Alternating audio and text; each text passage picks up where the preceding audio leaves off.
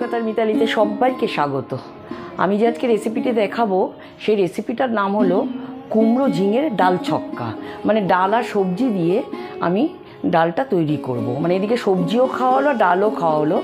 যারা বেশি প্রোটিন খায়, তাদেরও এর মধ্যে অনেক প্রোটিন আছে ডালের মধ্যে।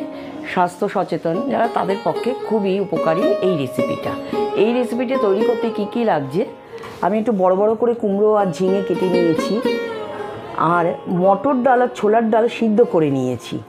আর রাঁধুনি নিয়েছি, একটু আদা বাটা নিয়েছি, শুকনো লঙ্কা, তেজপাতা নিয়েছি, আর জিরে আর ধনের গুঁড়ো নিয়েছি, কাঁচা লঙ্কা, টমেটো, ধনে পাতা আর চিনি। মিশিয়ে দিয়েছি আর তেলটাও গরম হয়ে গেছে। এইবারে আমি কুমড়ো আর ঝিঙেটাকে একটু আলতো করে ভেজে নেব।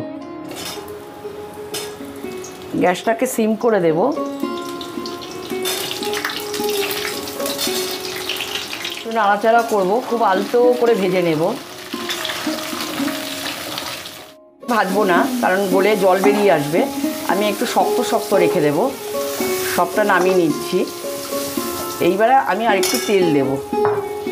এটা সাদা তেলেও করতে পারো, আবার সর্ষের তেলেও করতে পারো। আমি সামান্য একটু সর্ষের তেল দিলাম। দিয়ে তেলটাকে ভালো করে গরম করব। একটা তেজপাতা দিলাম আর একটা শুকনো লঙ্কা দিলাম। একটু রাঁধুনি দিলাম। একটু আদা বাটা দিলাম।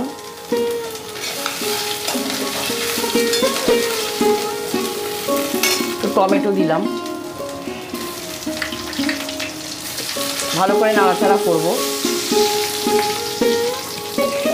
এবার একটু সামান্য হলুদ দেব।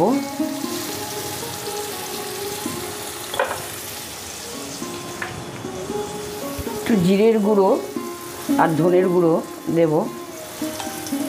দিয়ে ভালো করে কষিয়ে দেবো যাতে কাঁচা গন্ধ না থাকে। গ্যাসটাকে আমি জোরে দিলাম। কাঁচা গন্ধ ছেড়ে গেছে।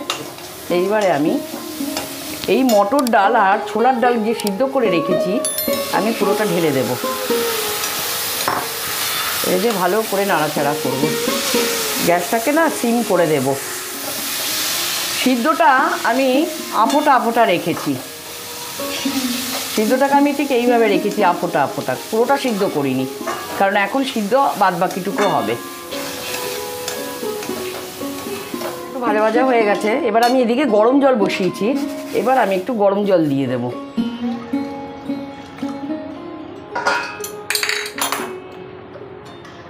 এবারে আমি একটু লবণ দেবো। বেশি দেবো না, স্বাদ অনুযায়ী।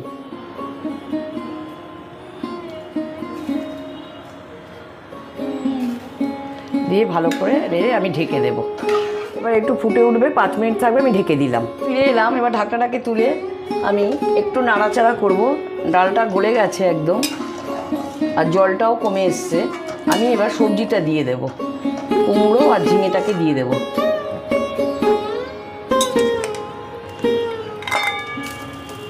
একটু গ্রেভি বেশি থাকবে।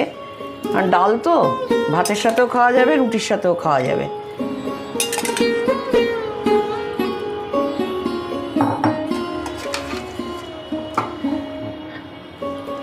আমি দিয়ে দিলাম ঝিঙেটা ভালো করে নাড়াচাড়া করব। এবারে দুটো কাঁচা লঙ্কা দেব।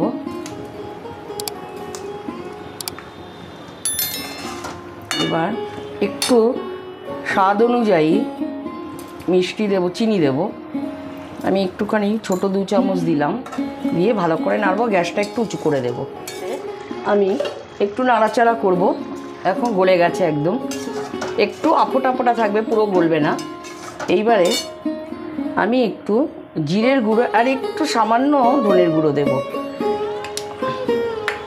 আর একটু ধনে পাতা দেবো। তাহলে খুব ভালো লাগবে খেতে।